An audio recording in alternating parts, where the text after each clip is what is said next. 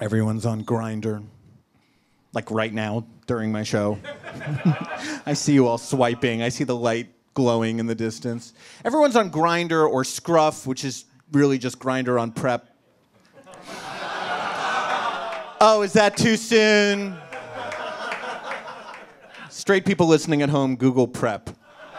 Lowercase r. Um, I, I, I, I fucking hate it. I hate all the, the hookup apps. It's ruined us. It's ruined us as a culture, I think. Thank you, one person, for pretending to agree. I mean, I'm on it all the time.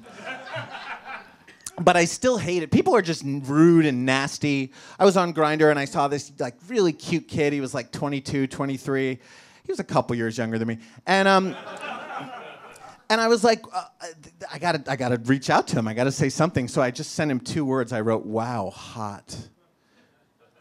He wrote back, "Wow, old." I wrote him back like literally a five-page text. I was like, dude, that is so fucking uncool. We're all part of the same community, and you're gonna get old someday too. I had done a lot of crystal meth. I was like, this is unacceptable behavior, and you shouldn't be nasty and treat people.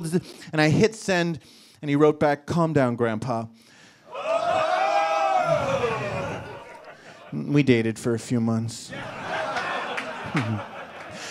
I was on Grindr once. I was in my apartment and, it, and I was looking at someone and it said he was zero feet away. I was like, I got freaked out. I was like, the whore is coming from inside the house. Where is this? I'm like going over to the wall. I'm like, hello? Can you just drill a hole?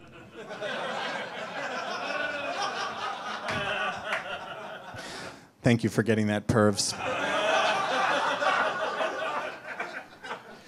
But I'm, t- I'm serious. Like, it's ruined us. It's ru- I walk down the street, I try to cruise guys, and they don't fucking see me. They're just like this. They got their phones in front of their faces. They're just glue. I mean, they could literally be walking into a fucking uncovered manhole and plummeting to their death. They wouldn't know it. They're just, and I'm like, hello. I'm like, the same as with the cow. I'm like, hey, hello, trying to get their attention. I'm like, if you would look up from your phone, you could have all this.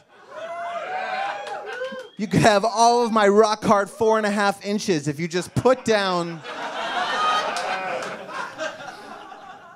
Which is nine Grindr inches, by the way. That's...